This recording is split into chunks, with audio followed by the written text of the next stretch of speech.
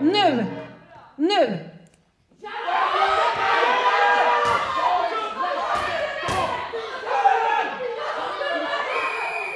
Utan att ha någon som helst kunskap, får jag gissa vad det handlar om? Jag tror att han i den där plexiglasburen är en förövare av sexualbrott och nu ska han hängas ut som på en skam, gamla tiders skampåle. Precis så. Så? Precis så. Åh, oh, vad skönt min scenografi funkade Ja, det- det också. funkar- funkar. och det är bara repetition och det, ja, vad, vad, vad glad jag blir att du eh, på de där sekunderna, alltså att det, för det är precis, någonstans så tycker jag, det är så läskigt med när man fördjupar sig i sexförövare.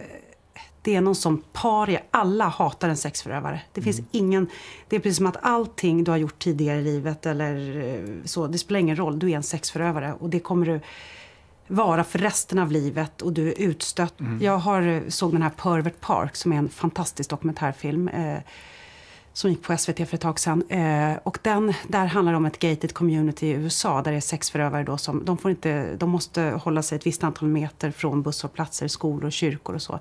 Och det här handlar om för resten av livet även om man har suttit av sitt straff. Och, eh, det finns även i Miami, Miami Tuttle Bridge där de bor under en bro för att de inte får de bor alltså i ett tält under en bro, eh, för de får inte ta sig någonstans, även om de har suttit av sina eh, liksom straff. Och den utvecklingen, den tycker jag är jätteläskig. Och så ser jag att i Sverige så finns det nu sidor där man lägger ut eh, sexualförövares eh, hela personnummer, adress och allting. Eh, och jag, jag tycker det är en jätteläskig utveckling. Eh, jag tror inte vi kommer någon vart med det alls. Och sen är det ju inte, jag förringar ju inte hatet man känner eh, mot en eh, våldtäktsman eller en sexförövare eller sådär. Det förringar jag inte alls. Men jag tror att samhället ska inte hjälpa till att odla det hatet i grupp. Eh, så, utan det får själva den offret känna och, och dens närstående. Ja. Men inte samhället i grupp kan inte gå in och hata med dem. Det tror inte jag på. Men sen ser jag också någonting som händer i att det är så få sexförövare som döms. Och då blir det någon sån här väldigt stort glapp mellan att antingen är du en dömd sexförövare och då är det bara paria. Eller så blev du inte dömd, men alla jurister så är helt övertygade om att du har gjort det här men det går inte att döma ändå för att det är så svår bevisföring och så.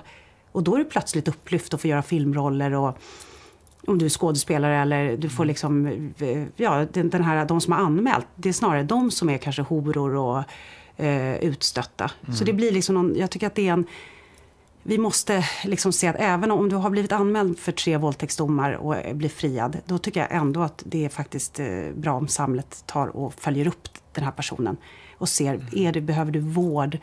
Eh, vad är det som gör att du har, har de här tre anmälningarna mot dig, även om du blir friad?